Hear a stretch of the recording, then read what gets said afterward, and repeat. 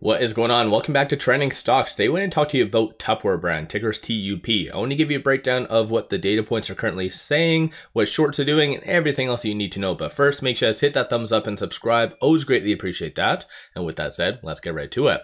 So when it comes down to Tupperware, it is down 3.07%. A little bit more of a sell-off, as you can tell, based on the intraday, and very little volume. So 277,000 shares being traded within the first about two hours of the trading day. 6.4 million is the average. At the time doing this video, no SEC filings, no press releases, nothing like that. So it is just piggybacking off of the broader market. Of course, Amazon did have some fairly good earnings and kind of temporarily saved the broader market from the sell-off that it was kind of spiraling down towards. But despite Amazon's fairly good earnings, there is still a ton of fear in the market, as you can tell based on the fear and greed index. So this single-handedly is why Tupperware has been going down with no news. It's just that there's a ton of fear in the market. A lot of people are starting to think of some of the future repercussions of, I guess, a slowing, because other than Amazon, a lot of the other big names have shown several signs of slowing, at least for the foreseeable future.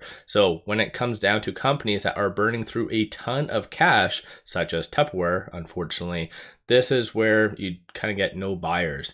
Despite that, though, you do have shorts just still very much ingrained in Tupperware. So you do have a lot of people talking on how Tupperware is going to be that next big squeeze alongside AMC and GameStop and many others which could potentially be true because there is a lot of failure to delivers that's still been coming down the pipeline as well shorts so i'll give you a quick overview of shorts before i go over into the other data points so short score is currently 78 utilization is 97.63 currently 30.51% of the free float is being shorted. That's crazy 31% and 12.17 million shares overall are being shorted. Currently shorts are returning roughly around 29,000 so the fact that they are returning on a red day shows that they feel that's a little bit more of an overreaction. Of course, I'm going to tie that into the technicals and many other things, but cost to borrow average is 24.25%. And through the broker, short availability does indicate that right now there's about 150,000 shares available to be shorted. So still kind of a small amount in my opinion who isn't a financial advisor of course. So shorts don't really have that much ammunition especially the latest morningstar report that i've kind of indicated in the past does show the fair market value for tupperware just based on their assets being $5.93 so as i said tupperware has been hit very very hard because of just how much they are burning through and a lot of people are just forecasting very little of the company, at least in the short term. So once again, let me know your thoughts on that. On a side note, I have brought this up for other companies, but this new rule, so the SEC adopts new rule to increase transparency into short selling and amendment to the CAT NMS plan for purposes of short sale data collection. So ultimately, if a company is on the threshold list, the individuals or entities shorting have to disclose their positions, similar nature to the 13Fs. So it is that time of season, so this is the latest ones for Tupperware, and you kind of see mixed results. So you see some increasing their position within Q3, some reducing, some just maintaining the position. It's kind of all over the place. So keep in mind, Tupperware is still a very much functioning business that I think a lot of people are just completely discrediting. So obviously institutions still see some value in it, but most likely um, with this being passed, I think it was around a week ago, and this being incorporated in basically 60 days. So starting in Q2 2024, you're going to start to see a lot more